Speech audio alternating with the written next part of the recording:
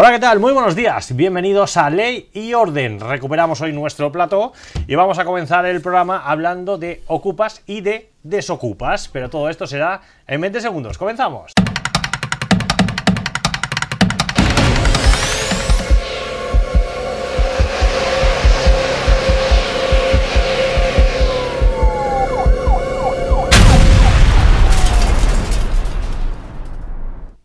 ¿Cuánto cuesta echar a un ocupa de una vivienda ocupada? Hoy vamos a hablar de este tema. Y es que echar a un ocupa en España de forma legal oscila entre los 10.000 y los 20.000 euros aproximadamente. Según varios portales especializados, el tiempo que transcurre desde que el propietario interpone la demanda de desahucio por precario hasta que se produce el lanzamiento por una orden judicial es de unos 8 meses de media y los costes se disparan. Un abogado puede cobrar unos 1.500 euros, 400 en procuradores y a todo ello hay que añadir 300 de cerrajero, acta notarial de entrada 300 euros más y los costes de reparación de daños ocasionados y el dinero no cobrado por esta explotación de la vivienda, es decir, el tiempo que esta casa hubiese estado alquilada. Hoy en nuestro programa tenemos un invitado muy especial, se llama Juan Manuel Quintanilla, pero todo el mundo le conoce como El Quinta. Llega directamente desde el corazón de Corea, de Canredó, es un hombre par con palabras, rostro serio y cara de pocos amigos. Es el terror de los ocupas.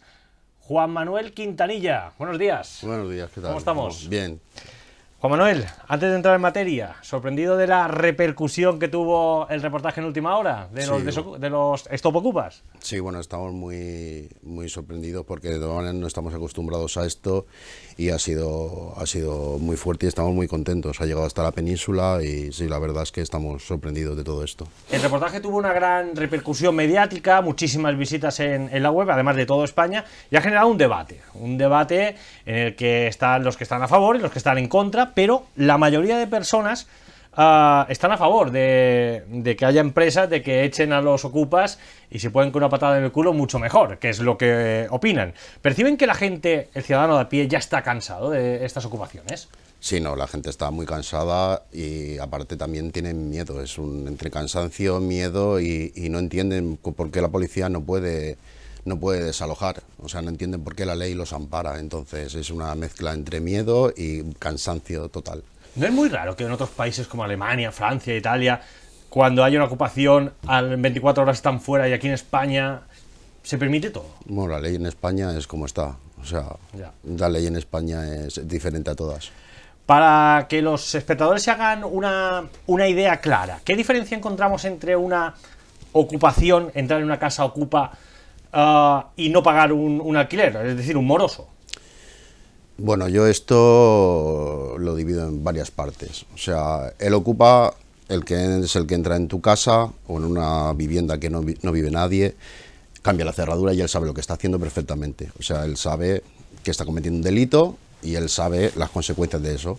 Él va a esperar un año, va a esperar dos años y va viviendo así. O sea, y luego están los que no pagan el alquiler. Hay dos tipos de personas que no pagan el alquiler. Yo los, los catalogo en buena fe y mala fe. Está el de mala fe, que dice, bueno, pago la entrada del piso, me quedo un año, un año y medio hasta que me echen y a verla venir y otra vez lo hago. O estoy un año pagando el alquiler y decido dejar de pagarlo, estoy otro año sin pagarlo y si me puedo pagar un viaje a Miami, pues mucho mejor. Y luego está el que le tocas a la puerta, pero este lo ves fácil, le tocas a la puerta y lo primero que te dice, no, no pasa, y te explica la situación, que a lo mejor ella está en ERTE y él no tiene trabajo, o hay una enfermedad de por medio, incluso te abren la nevera y te dicen, mira, es que tengo un cartón de leche. Entonces a esta gente lo que hay que hacer es negociar con la propiedad y buscarle la mejor solución para ellos. O sea, pero esto es el caso muy, muy pequeño. O sea, el 95% son gente que no pago porque no quiero. Son expertos en la ocupación. Entonces, nosotros si llegamos, por ejemplo, a una ocupación que es el- ese 5% que nos ha explicado el dueño, que es otra historia, y llegamos allí y vemos lo que hay, entonces ahí hay que solucionarlo de otra manera, con asuntos sociales o buscarles una solución digna. Ah, Quinta, ¿existen muchas viviendas ocupadas en Baleares? Nosotros por las llamadas que tenemos y desde que empezamos esto a informarnos y a montar la empresa y creemos que sí, creemos que hay bastantes. No sé exactamente el número, pero hay, hay sí que hay, hay bastantes. Bueno, hay que recordar que en el año 2018, 2019, perdón, se denunciaron unas 300 en Baleares, que están denunciadas. Hay que poner todas las que estaban ya de atrás y que vienen arrastrándose. Ah, Juan Manuel, ¿es cierto que detrás de las ocupaciones muchas veces hay bandas organizadas que hacen negocio con, con la gente precaria? Bueno, yo esto creo que es más en la península una mafia organizada en la península que, que, sí que se dedican a esto. Aquí al final yo creo que son tres amigos que se dedican a abrir casas, cambiarle la cerradura y venderte la casa por mil euros. Que el que la compra también lo sabe, o un chalet por tres mil. Entonces, no, no, yo no, lo, no creo que sean bandas organizadas porque, porque son muy grupos muy pequeños, de, dos, tres personas, cuatro personas. Entonces, bandas organizadas en la península sí que. Sí que o sea, aquí al patadón y mil euros por la casa. Sí. Y te engancho la luz también. sí, lo que, sí. Madre mía. ¿Cómo funcionan ustedes? ¿Cuál es el procedimiento de actuación de, de Stop Ocupas? Nuestro procedimiento es la negociación. O sea, a ver, nosotros no hemos inventado la Coca-Cola. Esto se ha copiado de una empresa que es Daniel Estevez, de Desocupa, es el que inventó y todos los demás vamos detrás de él. O sea, pero en la negociación. O sea, llegamos a la casa y vemos el tipo de ocupa que es y a partir de ahí empezamos a... Él sabe que se tiene que ir. O sea, esa es la mejor manera. Si hay que ir con abogado, se va con abogado. Si hay que hablar directamente con él y si hay que llevar un psicólogo, pues lleva un psicólogo. Pero al final se tiene que marchar. Sí, pero es, es, es una. Pero normalmente la gente lo entiende. Cuando ya ven una empresa de desocupación, ya saben que se van a ir. Sí, porque está como, está como decir, como de moda. O sea, y saben lo que hay, saben que al final todo el mundo está saliendo. Que al final no quiere salir porque no quiere salir, pues control de acceso. ¿Son ustedes muy caros?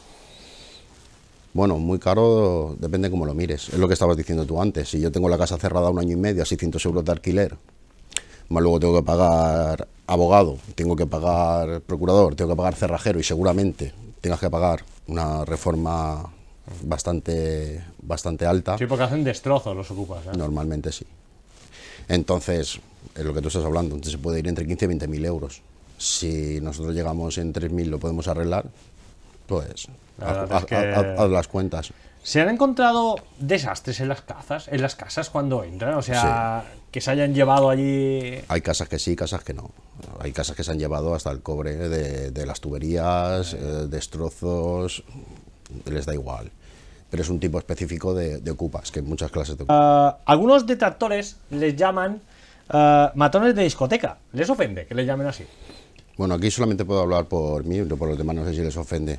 A mí la verdad mm, no me ofende ser el mismo matón de discoteca que cuando has tenido un problema con un borracho te lo he solucionado, que cuando he salido a las 6 de la mañana y había una chica o un chico en coma etílico que tiene que esperar hasta las 8 de la mañana que venga una ambulancia para que no le pase nada, o el mismo que ha desalojado un incendio. O sea, si eso es el matón de discoteca, estoy orgulloso de haberlo sido durante muchos años.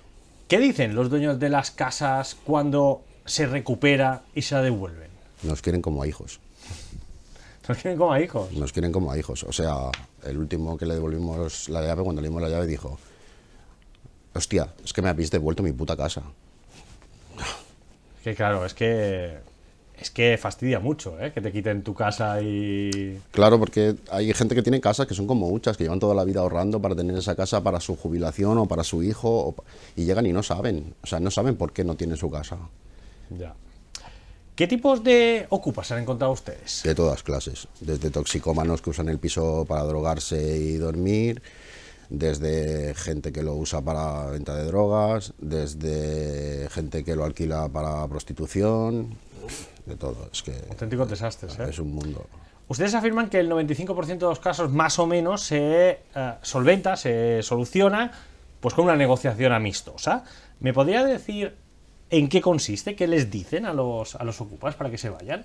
Bueno, nosotros llegamos y ellos saben perfectamente que, saben lo que hay, o sea, saben que están en una casa que no es suya, que es ilegal y que van a tener muchos problemas. O sea, van a tener problemas con la justicia, van a ser toda clase de denuncias, mm, no, no le entiendes, será un control de acceso. Entonces, ¿qué pasa? Que al final, em, si tienen una pizca de sentido común, dicen, bueno, dame 24, 48 horas, déjame sacar las cosas y buscan otra opción. La otra opción que buscan, pues no sé cuál es. Pero. Otra casa. Esto es como decían, un ladrón decía una vez, yo voy a una casa, veo una con alarma y otra sin alarma, ¿para qué me voy a complicar la vida con la alarma? Ni voy a la otra. Ni, más ni menos. Pues esto es parecido. ¿Son ustedes un grupo criminal, un grupo neonazi? O algo así, porque se ha oído por internet que si son neonazis de extrema derecha. Bueno, lo de grupo criminal, eh, empresa de grupo criminal, ya nos lo han dicho ya varias veces y creo que se están equivocando porque no somos nosotros la empresa criminal, es otra empresa que hay, que seguramente eso será otra entrevista en algún día que tengáis que hacerles a ellos. Eh, y sobre neonazis, bueno, a lo mejor lo somos, pero seramos modernos, porque tengo tres negros, un argelino, un gitano, un italiano y yo que soy medio tonto. o sea, neonazis modernos, ¿eh? Sí, vamos. Sí, no tiene sentido. En el momento que ustedes expulsan a los ocupas de, la casa, tengo entendido que montan eh, a veces un control de acceso o que incluso contratan seguridad privada dada de alta por la Policía Nacional. ¿Es cierto esto? Sí. Nosotros, bueno, valoramos cuál era la mejor empresa de seguridad privada que había en Palma, contactamos con ellos y en ese momento ellos dan aviso a seguridad privada, contactamos con Policía Nacional diciéndole que vamos a hacer este desalojo y, a partir de aquí a partir de ahí para acabar, uh, Juan Manuel, ¿qué le diría a los ocupas? Esta que es su cámara, ¿qué le diría a los ocupas que estén viendo el programa? Si nos veis llegar, hacer las maletas. Pues dicho queda, Juan Manuel uh, Quintanilla, muchísimas gracias por haber venido y les deseamos mucha suerte. A vosotros.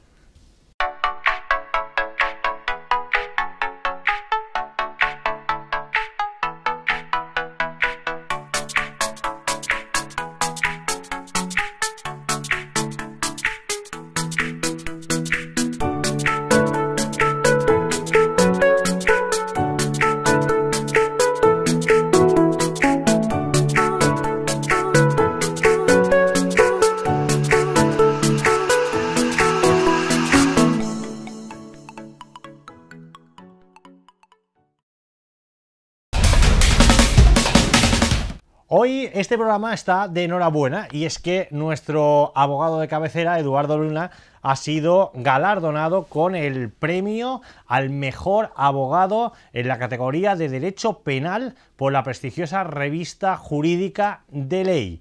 Vamos a ofrecerles ahora el momento de su proclamación. Hay que recordarles que se hizo de forma online, telemática, por las medidas de la COVID-19. Este evento siempre se realiza o suele realizarse en uno de los mejores hoteles de Madrid, en una fiesta, en una gala, que este año, repito, fue ah, suspendida y se han tenido que adaptar a las nuevas tecnologías por el tema de la COVID-19. Pero desde aquí queremos enviarle un fuerte abrazo y desearle toda la suerte del mundo y además felicitarle a nuestro abogado de cabecera que es el mejor de España. Miren el momento. Con una fuerte presencia en medios de comunicación, el siguiente galardonado especialista en Derecho Penal es un habitual de las tertulias jurídicas. Colabora con varios espacios de prensa, radio, televisión, publicaciones jurídicas, donde analiza la actualidad legal desde una perspectiva técnica. El Premio Nacional de Ley 2020 en la categoría de Derecho Penal es para el abogado don Eduardo Luna Álvarez.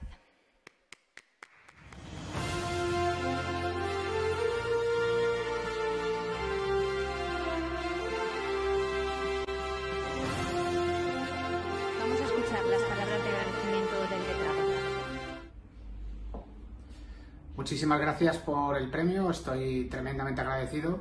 La verdad es que cuando recibes un, galardón como este, pues eh, eh, te llena de, orgullo y de satisfacción y por lo menos dices, bueno, hay algo que estoy haciendo bien, aunque todos los que nos dedicamos a esto sabemos que, realmente el, mérito no es nuestro, el mérito al final es de nuestro equipo, es de la gente que trabaja con nosotros, es de los clientes que confían en nosotros y sobre todo de nuestras familias, ¿no? que nos aguantan horas de estudio, que nos aguantan momentos de estrés, que nos aguantan esas ausencias en las que tenemos que estar preparando los asuntos.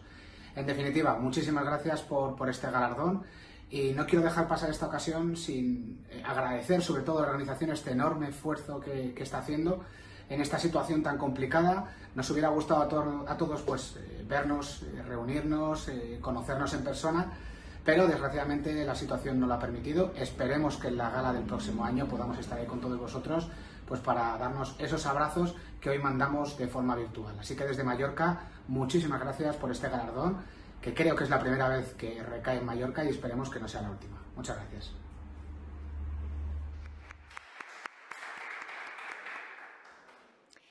Nuestro próximo galardonado es un despacho de... Hace unos días el Cuerpo Nacional de Policía, concretamente el grupo de estupefacientes, tanto el grupo 1 como el grupo 2, junto con Vigilancia Aduanera, realizaron uno de los mayores alijos de hachís de toda España. Y es que las circunstancias de la vida han querido que uno de los mayores alijos de hachís de la historia de España fuera interceptado e incautado por el grupo de menudeo de Palma. Tal y como les adelantó última hora hace unos días, Ah, lo que sucedió es que agentes del Grupo 1 del Cuerpo Nacional de Policía, del Grupo 1 de Estupefacientes, en colaboración con Vigilancia Aduanera, recibieron una alerta de las autoridades policiales de terceros países en las que les comunicaban que Mallorca se había convertido en base de escala de una red internacional de contrabandistas búlgaros. Nada más iniciarse la investigación, los policías descubrieron que se encontraban ante una de las organizaciones más importantes de entrada y distribución de hachís de toda Europa. Tras solicitar las pertinentes autorizaciones judiciales, se practicaron los correspondientes seguimientos. Aquí llega el momento, el jueves día 24, en colaboración con otras unidades policiales y bajo la tutela de la Comisaría General de Madrid, se abordaron los veleros cargados de droga y se procedió al arresto de seis personas. Durante el operativo se incautaron 35 toneladas de hachís. Se dice rápido, 35 toneladas de hachís y el precio de mercado de la droga incautada está valorado en más de 45 millones de euros. Hay que recordar que la sustancia intervenida, según los expertos consultados, es de un nivel muy alto debido a la gran calidad del producto. El coste supera los 1.900 euros por kilo. De las investigaciones llevadas a cabo por la Policía Nacional de Palma, se desprende que la organización organizaba, numerosas travesías con la intención de nutrir de hachís a todos sus distribuidores. La droga llegaba desde Marruecos en veleros de alto standing. Se valoran en 5 millones de euros y estos veleros llegaban a la costa mallorquina y una vez aquí se realizaba lo que ellos denominaban una escala técnica. Repostaba la embarcación, descansaba la tripulación y ponían rumbo a su destino final. En algunos casos era Canarias, en otros Algeciras, Cádiz, para su posterior distribución por toda Europa. El dispositivo estuvo integrado por cuatro patrulleros, un helicóptero, un avión de vigilancia aduanera y el van Meteoro de la Armada, que se suman a la investigación desarrollada durante meses por los efectivos de la Policía Nacional y Agencia Tributaria de Baleares. Están ustedes viendo imágenes policiales facilitadas por el Cuerpo Nacional de Policía y vigilancia aduanera de los asaltos y también de la posterior ah, de la posterior rueda de prensa que se realizó sobre este tema. Tengo 25 años y actualmente estoy trabajando de vigilante de seguridad de la catedral. Viendo el abanico amplio que, teníamos, que tenían aquí en ideas, pues me decanté más a la opción de querer estudiar eh, para poder trabajar el día de mañana en patrimonio histórico, que la verdad el tema de historia y todo pues me encantaba y el estar ahí en la catedral, en un gran patrimonio como es de aquí de nuestra isla, pues ha sido maravilloso y sinceramente agradecido estoy eterno a Ideas por haberme ayudado a estar aquí trabajando en la catedral. El Ayuntamiento ha contratado un servicio de vigilancia privada con la finalidad de garantizar el cumplimiento de las medidas sanitarias establecidas en la actualidad por la COVID-19. La medida se está realizando de forma temporal y se ha ejecutado una vez que la delegación del Gobierno ha autorizado dicha tramitación. El personal de seguridad vigila la zona del polígono de Camp Metzerí, la urbanización de Sermita, todo ello de las 21 a las 7 de la mañana y de forma paralela también se dispone de un servicio especial de control en el Parc del Charral de Sermonges, la Plaza Poble 2, el Parc Illes Balears, la Plaza Ciutat Lompoc y Spuig de Santa Magdalena. Otra de las funciones del personal de seguridad privada es la verificación periódica de los edificios de carácter municipal. Sus funciones en todos estos casos serán la de prevención, control y vigilancia, como el acceso a los parques o a las reuniones de más de 10 personas, en caso de detectar alguna situación conflictiva, tienen órdenes de avisar a los cuerpos de seguridad de la ciudad, a la policía local y a la Guardia Civil. Están ustedes viendo ahora imágenes de la inspección que realizó la unidad de seguridad privada del Cuerpo Nacional de Policía eh, a este servicio y la entrevista que tuvo tanto con la policía local como también con los propios vigilantes. Seguimos en ley y orden, nos ponemos mascarilla porque no podemos mantener eh, concretamente la distancia de seguridad porque eh, tenemos más invitados de lo habitual y porque si no lo hiciéramos, pues los invitados tendrían que aparecer en Mallorca Daniel Bulletin, que están aquí al lado, los vecinos. Ah, Juan Ibarra.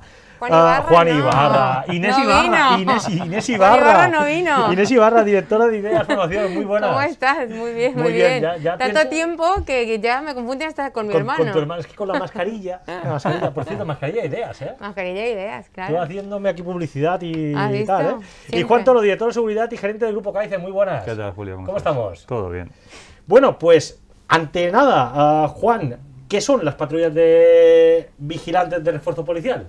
Bueno, pues básicamente es un servicio eh, bueno, novedoso porque no había existido hasta ahora. eh, esa autorización por parte de delegación del gobierno está amparada por el, el tema del COVID-19. Pero básicamente lo que hacemos es un poco dar apoyo a, a los lugares donde las patrullas de policía local o incluso en el municipio, las patrullas de Guardia Civil, pues por la, bueno, el poco volumen de, personal que tienen o, las carencias que hay en este momento, pues podemos ayudarles en labores que son propias de la seguridad privada.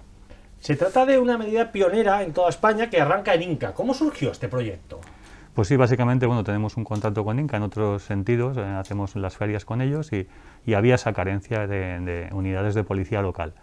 Eh, al mismo tiempo, igual Guardia Civil, por las carencias que tiene de patrullas en zona, pues eh, se creaba una, una inquietud de que había lugares que no había mucha presencia de, de- de personal uniformado. ¿no? La opción nuestra era plantear esa, esa patrulla, que básicamente es en lugares determinados y que sean cerrados, la capacidad o la posibilidad de estar vigilándolos y darles esos apoyos a- en tareas que la policía local pues podíamos dedicarle a otra cosa, a labores más, más reactivas. Bueno, antes de seguir, vamos a ver el vídeo de cómo ah, funcionan estas patrullas.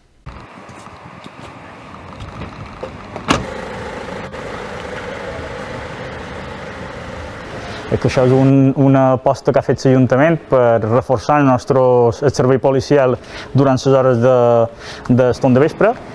És cert que els darrers mesos hem tingut un nombre d'incidències bastant elevat i, i, i els recursos propis de policia local els hem de destinar a tasques més reactives, a les incidències com es demana el ciutadà, i, i aquest reforç de seguretat privada pues, ens ajuda a fer una tasca més preventiva, no? que és, és aquesta vigilància d'edificis públics, aquesta vigilància de parcs municipals, que per desgràcia el volum de feina fa que no puguem, que no puguem assolir.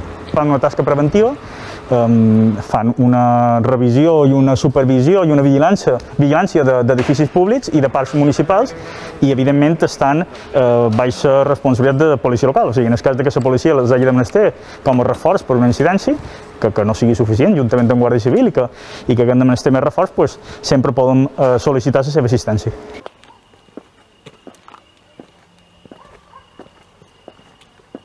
Nuestra función de vigilante de seguridad es dar apoyo a las fuerzas y cuerpos de seguridad del Estado y policía local, eh, realizando vigilancia en el polígono industrial y los edificios municipales.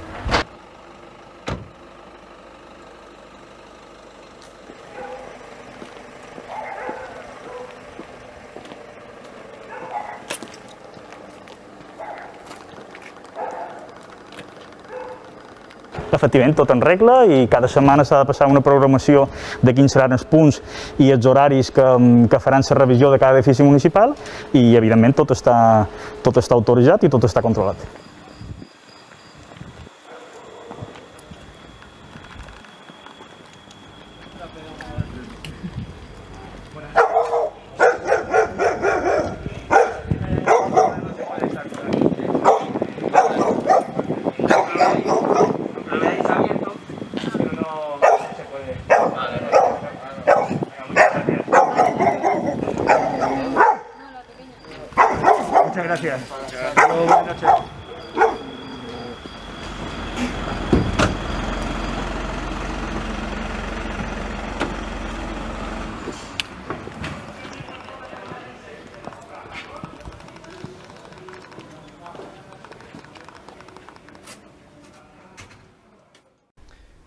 Bueno, hemos visto cómo funcionan. Juan, ¿hay otros municipios interesados en este tema? Sí, la verdad es que sí. Ha sido, bueno, al salir en prensa y tener bastante en redes bastante repercusión, pues ha habido más municipios que se han interesado y han pedido información al respecto. Hemos hablado ya con, hemos hablado con Campos, hemos hablado con Poyensa y hay más municipios en los que estamos entablando conversaciones con ellos, simplemente porque es, es un apoyo, es un poco explicarles que no, no nos metemos en labores propias, naturalmente, de fuerzas y cuerpos de seguridad del Estado, ni, ni nada parecido. Simplemente es adaptar la normativa que tenemos en seguridad privada para dar un poco más de visibilidad a esa, a esa seguridad en la calle y que creamos esa, ese ambiente de seguridad dentro de la ciudadanía.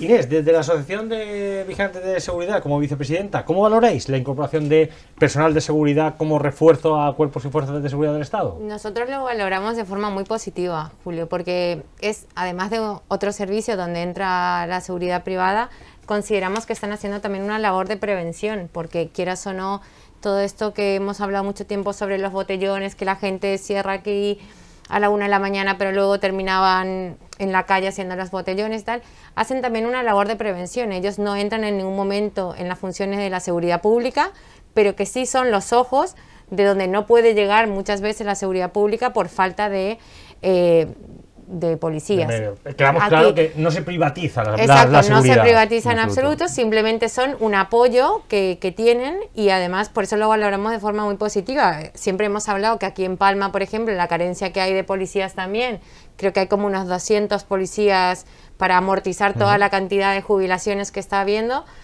En este caso, en Palma también, por ejemplo, podría ser un municipio que funcionaría súper bien porque vemos, o por lo general, Los parques. si sales a la noche, Parque wifi, los- Serriera. todo y, y- y que no llegan. Entonces la seguridad privada en ese sentido para prevención, para ayudar y para, pero de forma siempre colaborando. No, no se, co- como bien decía Juan, no se meten en las labores de, Claro, de que la no, no policía se está privatizando local, la exacto. seguridad, que No. es lo que en, en principio se, se no, podía no, decir. no, en absoluto. ¿Cuáles son las funciones de estas patrullas? Pues realmente la- las establecidas en cada ayuntamiento nos marca una pauta en base a la, problemática que tiene.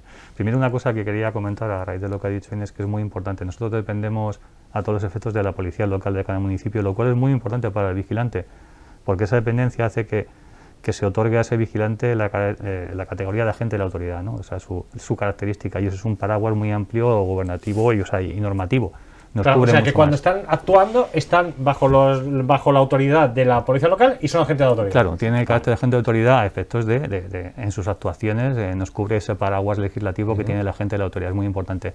Las funciones, pues la, la que nos marca el municipio dependiendo de la problemática que tiene. Es verdad que las funciones de las patrullas sí que están muy tasadas y comunicadas con anterioridad a la Policía Nacional, pero bueno, eh, eh, con esa comunicación después podemos jugar en el sentido de ver esos parques, prevención de botellón, eh, prevención de delincuencia y, y es cierto que en cuanto notificamos o vemos cualquier tipo de incidencia en la zona que no sea nuestra, simplemente de un traslado que nosotros no podemos actuar, pero al estar comunicados con un walkie y con la policía local se lo comunicamos de manera inmediata. Claro, en todo momento estáis comunicados siempre Sí, sí. vía walkie con policía. Hay un briefing anterior al inicio de la patrulla con el responsable de policía local que nos marca si hay una pauta específica para esa noche, se empieza la patrulla y estamos comunicados constantemente con ellos por si tienen algún tipo de necesidad o tenemos que comunicar nosotros algo que no pues, seamos capaces de resolver o no tengamos esa capacidad legislativa de poder resolverlo. Juan, al principio había ciertas dudas de cómo reaccionaría la policía, si lo aceptaría bien y tal, pero parece que, que una seda, ¿no? Sí, la verdad es que sí, ha sido un lujo. Eh, sinceramente, yo también vengo de, Guardia Civil y a lo mejor creemos que, que esa inclusión de, de los vigilantes en el ámbito de una policía local podría ser complicada, pero realmente es que no, están viendo que son funciones, digamos, vamos a hablarlo de segunda categoría, que la policía local eh, perdía tiempo en hacerlas y realmente ahora pueden utilizar ese tiempo en labores más reactivas y de prevención de la delincuencia. ¿no? Claro, la policía se encarga de vigilar y atender llamadas y ellos vigilan lo que son los polígonos, las. Urbanizaciones. Ujú. Ah, Inés, ¿cómo está siendo el trabajo de los vigilantes en tiempos de pandemia? Está siendo complicado, está siendo complicado porque son servicios ya también muy, muy delicados, ya entramos más a puntualizar, ya no es cualquiera que mira un centro comercial, sino que tienes que tener también otros tipos de labores como, bueno, como cuando todos nos vamos a un, cer- un centro comercial o un supermercado, que ahora siempre hablamos de que hay más vigilante porque también tienen que estar previendo el tema de las las distancias de seguridad, Cumplir el aforo cumplir el aforo, cumple- exactamente. Y en ese caso también eh, se está comunicando mucho a seguridad privada, al Departamento de Seguridad Privada, eh, los intrusismos que pueden estar habiendo, porque eso ha hecho que surgiera mucho intrusismo. Luego hablaremos de esto, ¿eh? que lo tengo aquí apuntado. ¿eh? Ah, Lo mira, tengo- lo muy tengo aquí bien, muy bien, apuntado. muy bien, Julio, muy bien. Lo muy tengo bien. aquí apuntado, lo Veo que-. Muy bien. Pues la verdad que se están formando cada vez más, se forman en mucho en tema de habilidades sociales, más que ya tanta la parte técnica de la ley y tal, que eso ya estudian cuando van a ser vigilantes, sino más en la parte de habilidades sociales, porque quieras o no, ahora tratan mucho más con el cliente y el cliente que ya no es tan agradable muchas veces, sino que ponte la mascarilla, no te escupo, ahora tal. Está nervioso. la gente está nerviosa, entonces eh, ellos tienen que también poder eh, sujetarse porque al fin y al cabo son seres humanos y, y, tienen que saber controlarse. Juan, ¿cómo, estáis, ¿cómo está siendo el trabajo de vuestros vigilantes en estos tiempos? ¿Complicado? Sí, complicado. Realmente, bueno, eh, es, difícil porque primero ha habido bueno, una bajada importante del número de vigilantes, sobre todo en el tema de hostelería, pues porque ha habido por la pandemia en la que nos encontramos, pero por otro lado hay un incremento de petición de estos tipos de patrullas o, o vigilancias discontinuas, pues que está habiendo más robos de lo habitual en, el ámbito hotelero. Pero bueno, el trabajo ha sido complicado y en concreto en estas patrullas aún es más complicado, porque es lo que comentaba Inés, la formación es imprescindible. En cualquier vigilante no vale para estar en un vehículo junto con un compañero vigilante también enfrentarse a cosas que salen en la calle. ¿no? no estamos preparados para eso como vigilantes, entonces la parte de formación es muy importante ahora. Van a tocar muchos ámbitos y tienen que tener unos conocimientos que antes no eran necesarios y así lo, le hacen falta. Inés, certificado de noviembre totalmente completo. Completo. desde, desde, septiembre está completo el certificado. Entonces hemos tenido que abrir un certificado nuevo para comenzar en diciembre, que comenzamos el 14 de diciembre. He traído una chuletita. Sí, sí, ya, lo, veo, ¿eh? lo digo porque luego me criticas. Hasta el 22 de marzo, del 14 de diciembre al 22 de marzo, por las tardes de 15.30 a 20.30, eh, reforzamos con este certificado es uno extra que hacemos porque el de noviembre ya está completo, a raíz un poco de eso, porque surgen estos tipos de servicios que antes no estaban y también la gente necesita formarse y prepararse de otra manera. Entonces, por eso hemos abierto un grupo nuevo. De todos es conocido los importantes cambios que ha habido en la unidad de seguridad privada de la Policía Nacional. Hay nuevo inspector, Alfredo Rodríguez, conocido como Freddy. A toda la gente que trabajamos en sucesos lo conocemos porque es un, inspector histórico, además que estaba en extranjería, en UPR, una persona muy querida en, la jefatura. Y bueno, ha dado un giro a la, a la unidad nada más comenzar más inspecciones, más sanciones, lucha encarnizada con el intrusismo. ¿Cómo valoráis esta nueva forma de trabajar desde la asociación?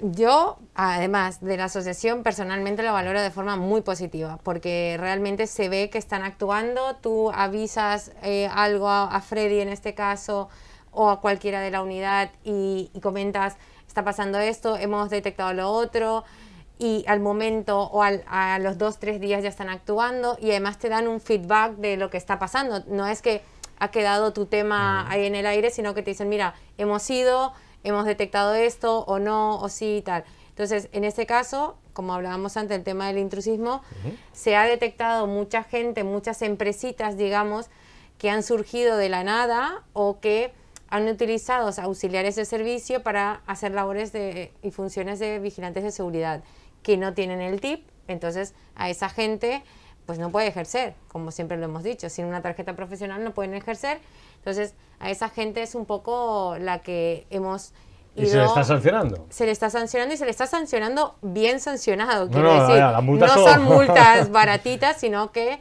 se la están jugando bastante, poniendo a cualquier personal en un control de accesos o, o, controlando el aforo y tal. Claro, no puede ser es que cojan al, primero que pasa por la calle y lo pongan a vigilar en la puerta. Es que simplemente ellos porque pongan la eh, muchas veces se ponen una camiseta que pone staff o control, creen que ya pueden eh, hacer, lo que hacer, lo que quieran. Y claro, pero es que no, no están acreditados por el ministerio para ejercer. Juan, ¿cómo se presenta la próxima temporada? Porque parece que la cosa ahora con el tema de la pandemia, cuando acaba, pues acabe, pues que se presenta bien. Da miedo contestar a eso porque no sabemos cuándo. Pero bueno, yo entiendo que sí, ¿no? Gracias a Dios estamos saliendo, bueno, que hay una, una proyección con respecto a las dos vacunas más que van más adelantadas, que están muy avanzadas, y entiendo que, bueno, que si realmente la previsión es esa, empezar a vacunar a principios del año que viene de manera masiva, pues entiendo que habrá una temporada pues más que correcta el año que viene, ¿no? Que es muy necesaria porque realmente se está sufriendo en muchos sectores. un golpe fuerte este año. ¿eh? Nosotros trabajamos en sectores, casi nos dedicamos en exclusividad un tanto por ciento muy grande hostelería y ocio, y naturalmente son sectores que han sido muy tocados. Golpe, un golpe duro para todo, para todo el mundo. Que haya ¿eh? una temporada correcta el año que viene por para, lo menos recuperar. normalita. Es lo que hablábamos siempre, que se habla de que los hoteleros lo han pasado mal, pero todo lo que es la oferta complementaria y, lo- y los, las empresas que están ahí también los de eventos, servicios. todos los festivales que se han suspendido o que se tenían, se tuvieron que readaptar, en vuestro caso en Puerto Sí, Adriano, que sí, también sí. llevasteis, pues se tuvieron que readaptar con la cantidad de aforo Claro. y tal, y quieras o no te disminuye también el personal. Inés, ¿cómo se presenta la próxima temporada desde el punto de vista de formación de vigilantes? Bien, para nuestro punto de vista, bien. Ya te digo, hemos tenido que reforzar con abriendo un grupo nuevo. Todas las empresas de seguridad siguen con sus reciclajes, Kaizen también. y ya te digo que hacemos mucho el tema de, se está tocando mucho, mucho la parte tanto del COVID como el tema de eh, manejo del estrés, habilidades sociales, porque todo el mundo está muy nervioso. Entonces, a la primera saltan, entonces se están, las empresas están trabajando mucho esa que se llama habilidades blandas, que antes no lo tocábamos tanto, que antes era mucho más sistemático la ley de seguridad privada, técnico profesional, primeros auxilios, tal. Y ahora un poco es cubierta la parte formal, vamos a ver el día a día de un vigilante, qué pasa cuando viene uno y te dice no me pongo la mascarilla o lo que ha- todos los incidentes que hemos visto que han ido pasando desde mm, en la intermodal a esa mujer que no quería pagar, bueno, todo lo que hemos vivido. Entonces, ellos tienen que tener la capacidad de no ponerse primero a la altura de esa persona y segundo, de poder reaccionar y poder prevenir cualquier Mano izquierda, problema. mucha. Mano izquierda. Mucha mano izquierda. ¿Cuánto, director de seguridad de y gerente del Grupo Kaizen? Gracias. A vosotros, como siempre. Inés Ibarra, que no me equivoco. Ah, gente de ideas, gracias. A ti, Julio. Seguimos, esto es Ley y Orden.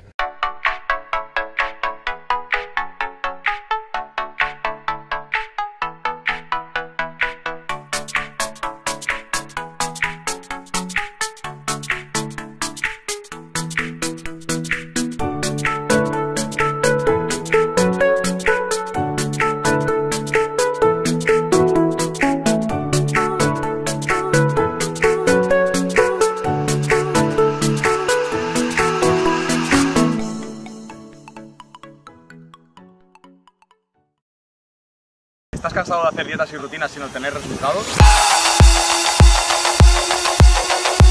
Si quieres que te ayude a conseguir tus objetivos, no lo pienses más.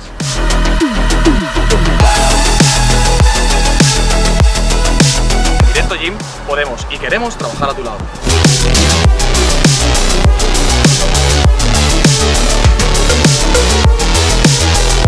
Soy Rubén Robles y estoy aquí para ayudarte a cumplir tus sueños.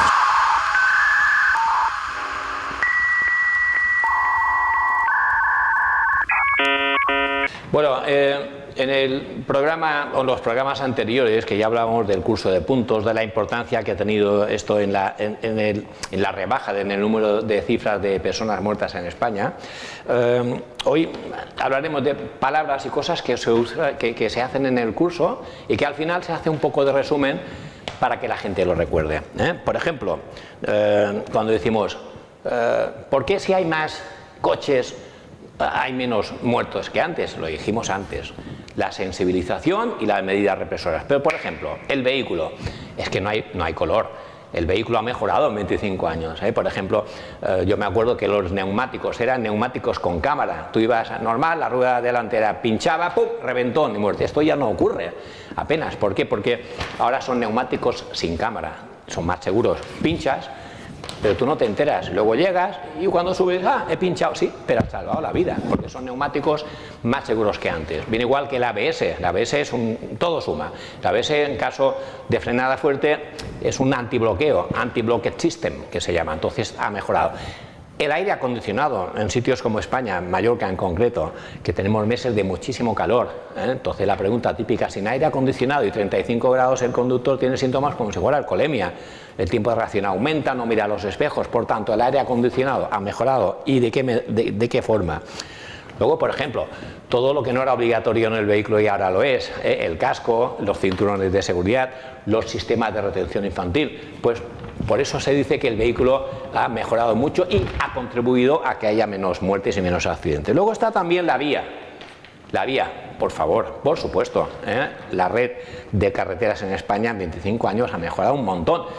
Por ejemplo, lo que es el asfalto, la calidad del asfalto, eso ha mejorado ¿eh?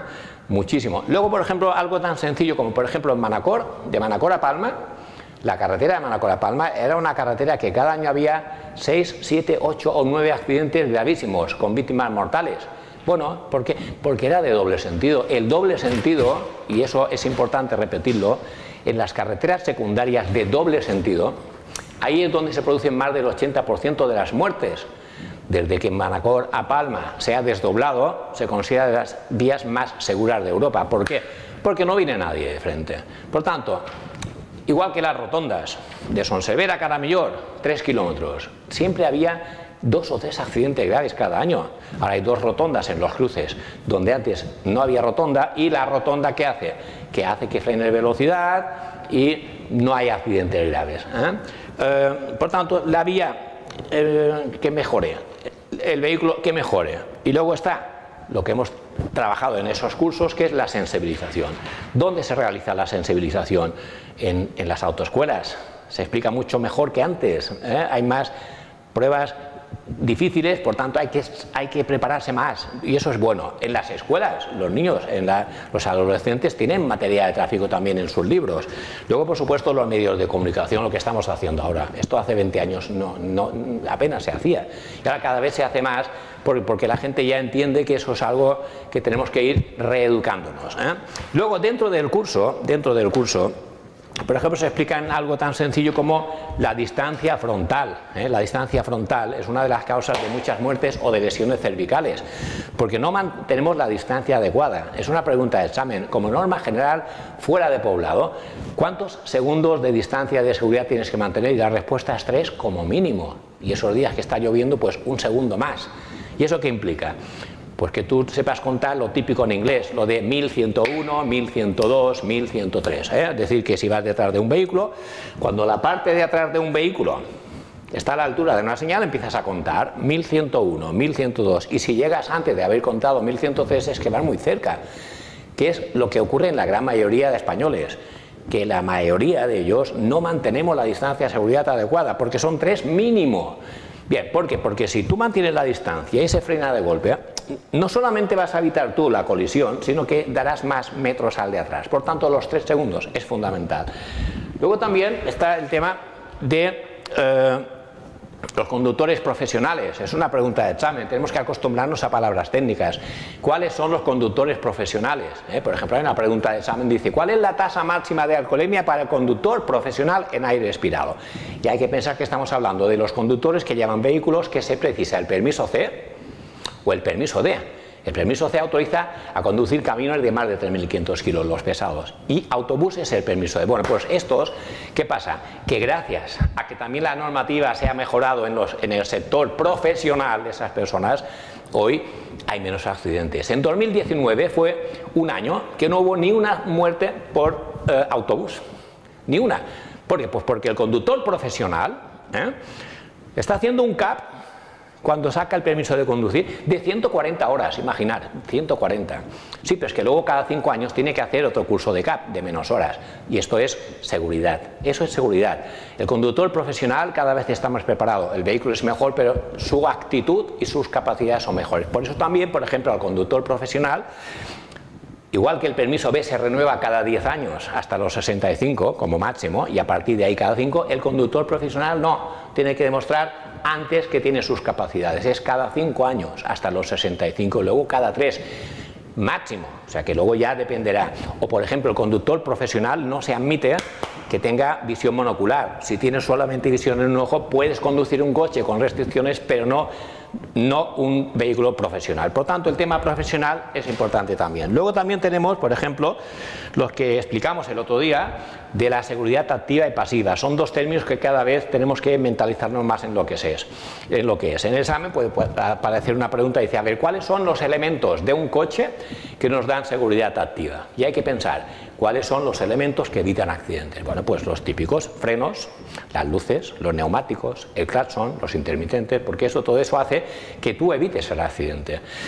Y en cambio, los elementos de seguridad pasiva, eso significa que el accidente no lo vas a evitar, pero que estos elementos te dan, te reducen las lesiones de las personas que van dentro, como puede ser, por ejemplo, el cinturón. Es un elemento que no evita el accidente, pero te da la seguridad pasiva porque evita que tú salgas despedido del vehículo. El reposacabezas, lo mismo. ¿eh? Con el reposacabezas no evitarás la colisión por detrás, pero evitas la lesión cervical. Sistemas de retención infantil, el casco en la moto. ¿eh? Todas esas cosas, insisto, eh, ayudan a que no sean graves los accidentes. ¿eh? También se explican en los cursos, intentamos entre el psicólogo y los profesores hacer hincapié en la frase que más repito en los medios de comunicación, y es no hay que sentirse culpable de lo que hemos hecho. Total, lo has hecho, ya estás pagando por lo que has hecho, por eso haces cursos, sí, pero puedes mejorar la actitud en el futuro. Desde hace 10 años la DGT ya permitió que no se tenga que ir a tráfico para renovar el permiso de conducir. En Mallorca hay unos 50 centros y el grupo Cánovas para la seguridad vial, pues estamos ubicados en Manacor, que fue el primero, en Centre Medic Spark, y en Palma, pues tenemos en Sescorchedó, en la rotonda de Son y en el centro comercial al Campo Mallorca en Marrachí, más los dos de la parte de Calvía, en Palma Nova de Santa Ponsa. Entonces, ¿Qué es lo que se hace? Bueno, pues mm, no hace falta ni traer fotos. ¿eh? Entonces, ahí se hacen las mínimas pruebas para comprobar si hay enfermedades crónicas, si la visión es buena, que eso es fundamental, pero también la audición, los reflejos. Y se paga por internet las tasas, los que tienen que pagar, cosa que a partir de los 70 años no se paga la tasa, solo se paga el certificado. Y el cliente, el conductor, sale con una autorización al momento, en 20 minutos, para conducir y esa autorización le sirve para 90 días y luego en un mes, más o menos, tráfico por correo ordinario le envía. Y si no le llega, pues que en algunos casos no le llega, pues irá a tráfico, que es algún problema de entre tráfico y correo. Por tanto, estamos muy contentos porque tenemos muy buena ubicación para estacionar, buenos horarios, incluso en el campo y en la rotonda de Somos, porque los sábados también es un día que mucha gente no trabaja y aprovecha para hacer estas cosas. Y aparte, por supuesto, no es solamente renovación del permiso de conducir, sino que cualquier tipo de certificados médicos, para armas, para navegación, para animales potencialmente peligrosos, también se precisa. Entonces, pensamos que mm, agradecemos un montón porque ya hace 10 años que iniciamos la actividad ¿eh? y em, el hecho que vuelva tanta gente y que mm, sea todo rápido y que sea el servicio, por supuesto, profesional, con rigor, pero también a la vez afable, eso hace que em, estemos encantados de dar ese servicio a Mallorca en general. ¿Qué tal chicos? Bienvenidos a una nueva entrega de Directo Gym. Hemos escogido de nuevo nuestro hábitat natural, nuestro parque, nuestra zona de entrenamiento al aire libre. Vamos a hacer una rutina que va a consistir en cinco ejercicios funcionales, donde vamos a trabajar 40 segundos y vamos a descansar 20 entre ellos. Son cinco rondas y esas cinco rondas entre ellas tienen un descanso de un minuto. Antes de empezar, como ya sabéis, tenemos que hacer un calentamiento. Yo lo voy a hacer rápido para explicarlo así más, más suelto el entreno. Y vamos a empezar movilidad articular, brazos adelante, brazos atrás,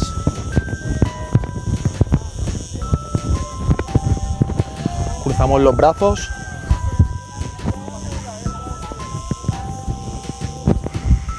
elevaciones,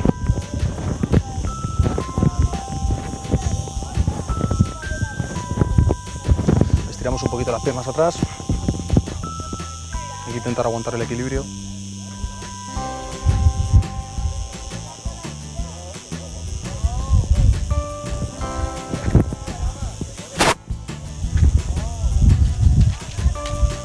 Papeles por en medio, cosas del directo.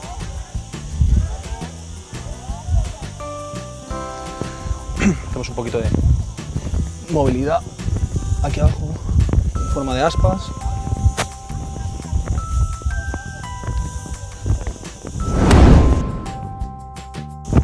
Vale, empieza nuestra rutina. Primer ejercicio, vamos a realizar saltos al banco con sentadilla. Vamos a saltar, vamos a hacer una sentadilla, subimos, Sentadilla abajo, salto, sentadilla, subo, sentadilla, salto, me caigo, sentadilla, subo, sentadilla, salto, sentadilla. Este es nuestro primer ejercicio. Nuestro segundo ejercicio, vamos a realizar unas escaleras que le llamo yo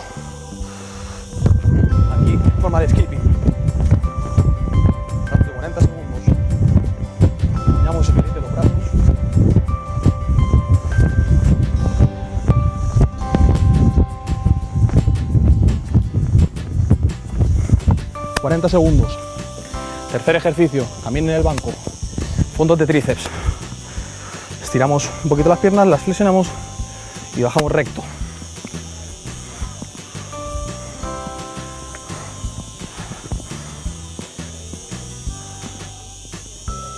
Durante 40 segundos.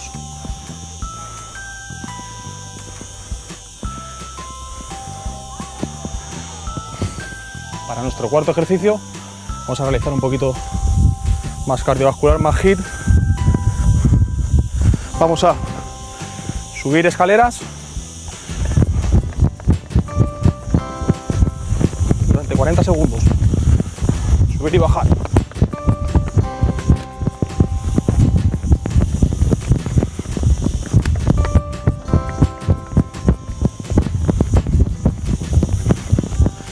Bien, y aprovechamos hacemos nuestro quinto ejercicio. Vale, vamos a hacer saltos, ¿vale? En escaleras. Un poquito de sentadilla en el salto. Bajamos igual.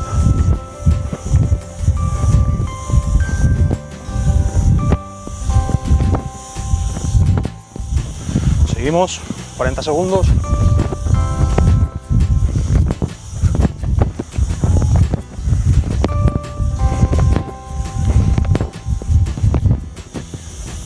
Y bajamos.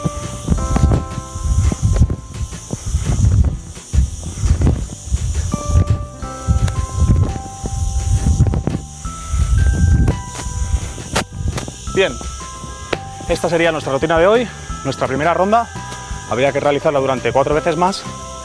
Recordar que es importante el ejercicio sin peso, solo con nuestro propio cuerpo, también es igual de efectivo. Espero que lo realicéis, que os guste y que nos vemos en el siguiente programa.